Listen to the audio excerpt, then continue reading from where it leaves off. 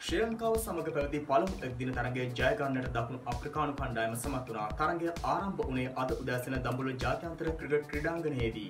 ඒදී කාසියවාසය දිනා පළමෙන් පන්දුවට පහරදුන් ශ්‍රී ලංකා කණ්ඩායම පන්දුවාර තිස් හතරයි පන්දුතුනකදී සියල්ලන් දැවී ලකුණු එකසිය අනුතුනක් රැස් කලා. මේදී ශ්‍රී ලංකා කණ්ඩායමේ පළමු කඩලු හතම ඉත අඩුලකුණු මට්ටමකට බිඳ වැටනු අතර තිසර පෙරේරාසා කුසල් ජනෙක් පෙරේරා එක් වී හයවන කඩුල්ලට ලකුණු අනු එකක් රැස් කලා.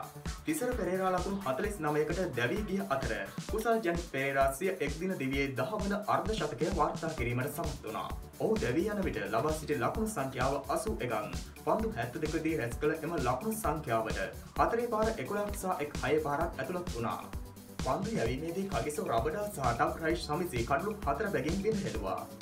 සුපුරුදු පරිදි පන්දුවට පහරදුන් දකුණු අප්‍රිකානු කණ්ඩායම පන්දුවාර තිස් එකකදී කඩලු පහක් පමණක් දැවී ලකුණු එකසිය අනු හයක් ලබාගෙන තරගේ ජයගත්තා. ඒ අනුව තරඟ පහකින් යුත් මෙම තරගේ දෙවන තරගය ලබන මස පළවනදා ආරම්භවීමට නියමිතයි.